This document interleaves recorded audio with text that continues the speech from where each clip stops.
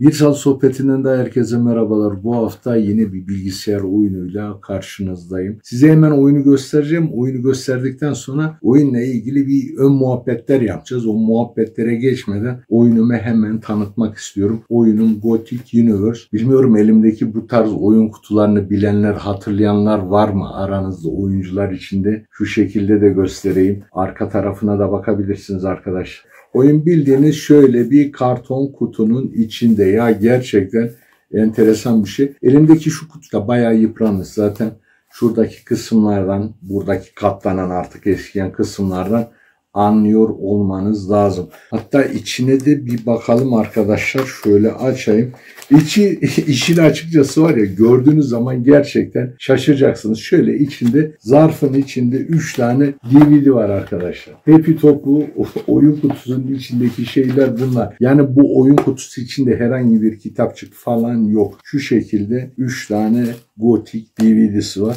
Bu üçüyle birlikte 3 oyunun kurulumunu bilgisayarınıza yapıyorsunuz arkadaşlar. Şöyle göstereyim ben sizlere. Eskiden böyleydi ya. Yani bu elimdeki orijinal oyun yanlış anlamayın kopya oyun falan değil. Hatta yurt dışından getirmiştim ben bunu. Türkiye'de o dönemde bu oyunu bulmak gerçekten çok zordu. Sanırım hala bu oyunu bulmak zordur diye tahmin ediyorum. Abi oyunu da kutusuna bir türlü yerleştiremedik. Hele şükür. Gerçekten bunun meşakkatli bir CD yerleştirme sistemi var. Aslında sistem de değil. Adamlar kartona basmışlar geçmişler. Neyse oyunumuzu şöyle koyalım. Şimdi Gothic serisiyle ben tanıştığım zaman sene 2002-2003 gibi bir tarihti. Gothic'i görmüştüm ama asıl Gothic'le zaman geçirdiğim dönemler Gothic 3'ün çıktı 2006 yılı. 2006 yılında Gothic 3 çıktı. Gothic 1 herhalde 2001'de hemen ertesi yıl Gothic 2 geldi. Gothic 2'nin bir de ek paketin olması lazım. Piranha Byte yapıyordu bu oyun. Farklı firmalar dağıttı Gothic serisini. 2006'da da Gothic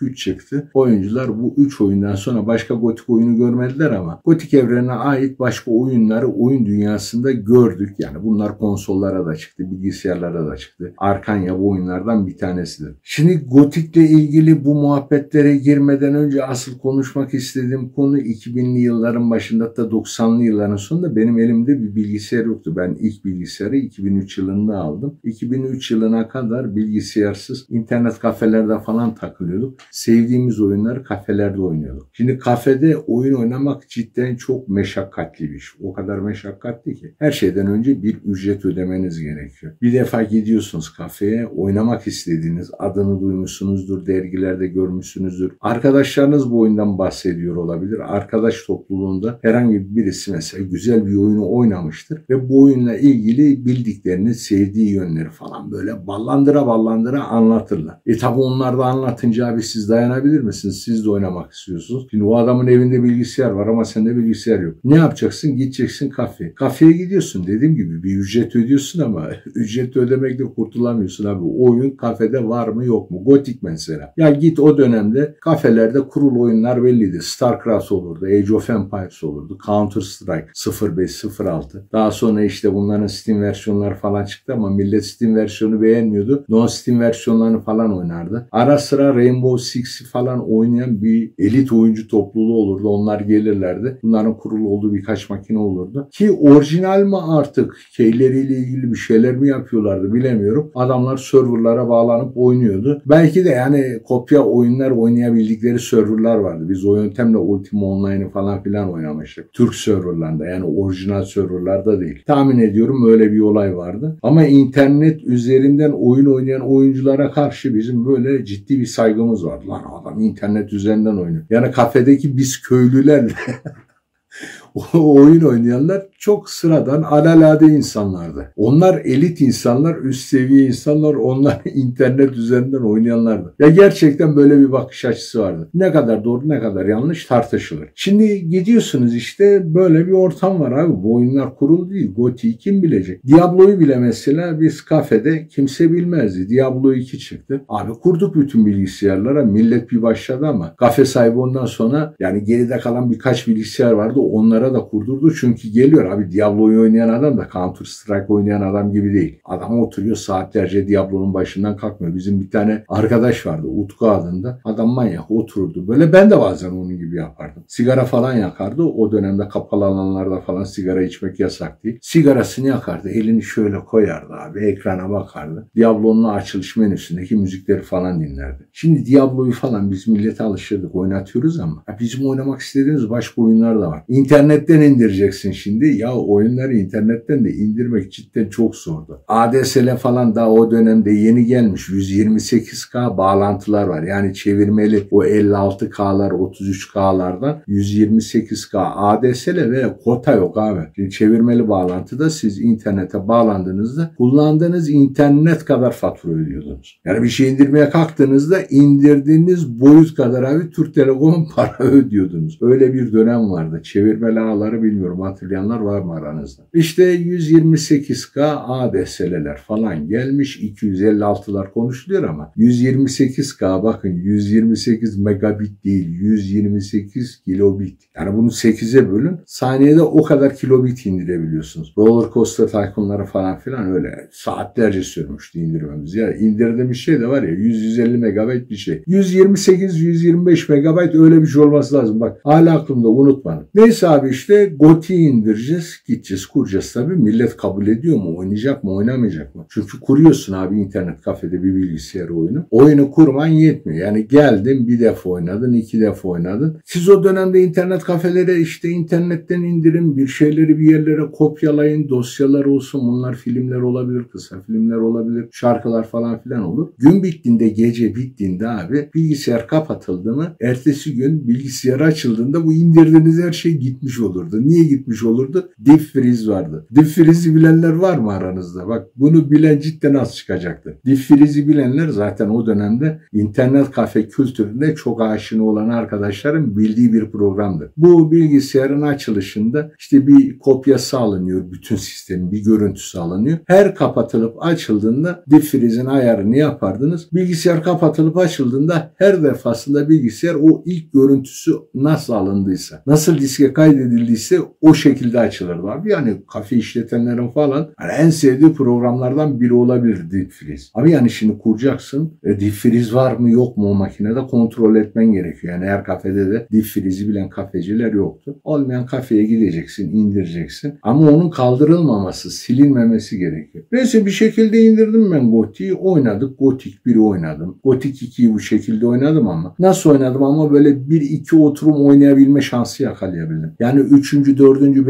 5. oturumlar uzun saatler bu oyunun başında geçiremedim ben. Ne zamana kadar? 2006 yılında Gotik 3 çıkana kadar. Gotik 3 çıktığında ama tabii kafamda da böyle bir Gotik efsanesi var. Gotik çok sağlam bir RPG'dir lan. Adı Gotik bir defa. Gotik ya oyunun adı gotik. Gotik dediğiniz zaman işte sanatta, edebiyatta bu belli bir dönemi ifade eder. Gotik gerçekten çok büyülü bir kelimeydi. Gotik lan oyunun adı gotikti ya. Gotik gerçekten inanılmaz bir şey. Gotik 3 çıkmış abi. Benim de o zaman bilgisayarım var. Sene 2006'da çıktı. Tabii kopya oyunlar, korsan oyunlar. Aldık geldik. Ben bilgisayara kurdum. Bilgisayarım da güzel ama şimdi. Allah var o dönemde. 2003 yılında almıştım ama 2006 yılında da çatır çatır iş görüyordum. Neyse Abi Gotik'i kurduk. Gotik'e bir başladım. Tabii Gotik sardı beni ama. Lan abi oynuyorsun. Oyunda bir müddet ilerliyorsun. Çak bir şey oluyor. Bir arıza oluyor. Ya görevle ilgili bir yerde tıkanıyorsun. Ya oyun çöküyor. Ya mavi ekran oluyor. Ya illaki bir hata oluyor. Veya karakterin bir yere sıkışıyor. Hoplayamıyor, zıplayamıyor, yürüyemiyor. Yani olduğu yerde donuyor kalıyor. Ya çıldırırsın abi. Böyle enteresan bir durum. Ne yaptım ne ettim? Ben bu Gotik'i oynayamadım abi. Gerçekten oynayamadım. Gotik 3 de o dönem oynuyorsun yapıyorsun ama abi yani gerçekten dört person kamerası var. Kamerayı böyle karakterin etrafında falan çeviriyorsun. Düşmanlarla falan kapışıyorsun. Kendi de böyle çok enteresan bir dünyası var. İnsanların da böyle köle olarak kullanıldığı bir dünya. Ya acayip korsanlar falan filan. Ya dünyası gerçekten insanın ilgisini cezbediyordu. Ya bir de rol yapma oyunu. Ben oldu bitti rol yapma oyunlarını çok severim. Abi ne yaptım ne ettim lan ben bu Goti'yi oynayamadım. Aradan tahmin ediyorum birkaç sene geçti. Yani birkaç sene dedim 3-4 sene de olabilir olabilir, 5 sene de olabilir. Duydum ki bu oyunla oyuncular yama yapmışlar abi. Yani bu süre daha fazla da olabilir emin değilim. Oyuncuların yaptığı resmi olmayan bir yama. Bu yamayı indiriyorsunuz Gothic 3 bayağı bir düzeliyor. Ha inanamadım ya Stüdyo'nun yapmadığı, Piranha Byte'ın yapmadığı yamayı oyuncular nasıl yapabilir? Yani oyunun öyle bir topluluğu var ki abi düşünebiliyor musunuz? O kadar sadık bir topluluk. Adamlar oturmuşlar bu oyuna yama yapmışlar abi. Oyuncu topluluğu. Ve nasıl o yamayı indirdim abi ama artık aradan o kadar yıllar geçmiş. Oyun bayağı bir eskimiş. Eskidiği için de ya elimizde de güzel oyunlar var. PlayStation 3 falan oynuyoruz o dönemlerde. PlayStation artık bizde çok ayrı bir böyle gönlümüzün içinde ayrı bir köşeye yerleşmiş. Yerini doldurmak gerçekten çok zor. Güzel de bilgisayarım var ama bilgisayarım gerçekten oyunlar noktasında PlayStation 3'ün yerini tutamıyor. Çok sevdiğim oyunlar arkasına arkaya çıktı. Konsollar arasında da sayı olarak en fazla oyun oynadığım konsol PlayStation 3'tü. Öyle bir dönemde işte ben bu yamayı gördüm. Maalesef Gothic 3'ü bitiremedim. Hala içimde de yaradır. Bu oyunun konsollara Arkanya isimli aynı evrende geçen yine aynı mantıkla yapılmış oyunlar çıktı. Oyunlar hala devam ediyor. PlayStation 4 döneminde de olması lazım. Hatta PlayStation 3 dönemindeki oyunlardan remaster edilenler de olabilir. Tam emin değilim çünkü Arkanya serisi de koptu gitti. Biliyorum aynı evrende geçiyor Gothic evreniyle ama yani koptuk. Biz de seriden koptuk. Yani diğer oyunlara merak salmamızın bunda etkisi olmuş olabilir. Tabi Arkanya serisinde Gothic serisini öyle çok çok ileriye götürdüğü söylenemez. Yani gördüm bir iki defa denedim ama hatta dijital olarak da kütüphanemde olması lazım. Gothic böyle bir oyun. Bende böyle anıları var. Yani kafelerde beni süründürmüş bir oyundur. Muhakkak sizlerin de o dönem evinde bilgisayar olmayan arkadaşlar için söylüyorum. Beğendiği, çok oynamak istediği ama oynamak için bir fırsat bulamadı. Bunun için gidip kafecilere saat başı para ödediği oyunlar olmuştur.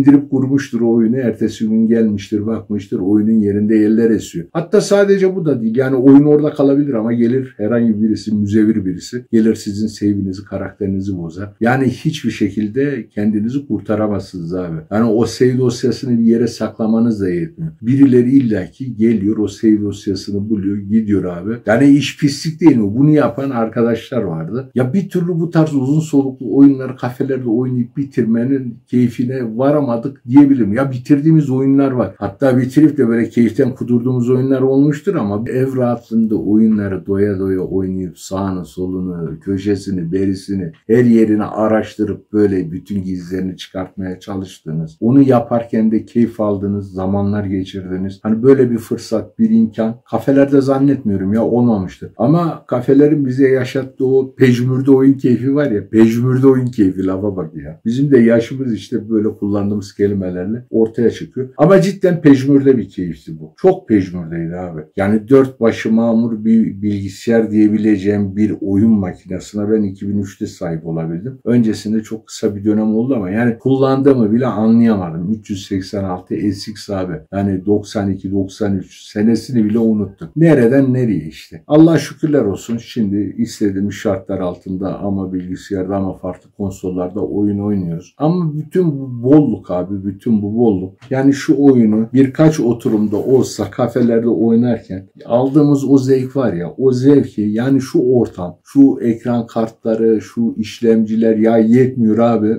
Her tarafını led ışıklarla falan döşemişiz kasaların. Ara sıra camından bakıyorum şöyle lan ne kadar güzel görünüyor falan. Ama bunlar bile keyif vermiyor. Herhalde birazcık bolluk bizim bir yerlerimizi tırmalıyor abi. Gerçekten tırmalıyor. Yani Bilmiyorum ya. Yeni olan şeylerle irtibatı kesip komple geriye mi dönmek lazım? Ara sıra arkadaşlarla falan konuşuyoruz. Böyle oyunlara baktığım zaman o dönem yaşadığım şeyler aklıma geliyor. Zaten kanalda da yapmaya çalıştığım şey bu. O dönem yaşadığım şeyleri hatırlamak, hatırladığım şeyleri sizlere anlatmak, sizlerin de bunları hatırlamasını sağlamak. Eğer aranızda bu tür şeyleri yaşamış olan arkadaşlar varsa. Evet, Gothic Universe. Hani Gothic evreni ama bu evrenler bizim o oyun oynadığımız oynadığımız yani oynamayı denediğimiz ama bitiremediğimiz bir türlü oynamaya çalıştığımız onlar bize çok acayip ayrı bir zevk veriyordu. Yani bitiremiyorduk hep bir şeyler noksan eksik kalıyordu ama abi hani gerçekten bambaşka bir evrende kaldı sanki onlar. 2024 yılındayız. Bundan 20-25 yıl öncesinin oyunlarına dönüp acaba aynı şeyleri bir daha yaşayabilir miyiz? O aynı keyfi bize yaşatacak o aynı oyunları oynadığımız zaman o duygular her şey aynısı olabilir mi? Gerçekten gerçekten bilmiyorum. Hep böyle umutsuzca bir çaba. Yani yeni oyunlar oynarken de bu eski oyunlara dönmemiz herhalde bu ümitsiz çabanın bir sonucu, bir ürünü olsa gerek. Bilemiyorum bu hafta biraz böyle değişik oldu. Gothic Universe'den konuşacaktık sözde. Yine her zamanki gibi anılardan konuştuk ama anıların sanki bu sefer ölçüsünü kaçırdık gibi ya. Yani anıların aslında ölçüsünü kaçırmadık da anıların bize yaşattıklarını size anlatmanın herhalde ölçüsünü kaçırdık.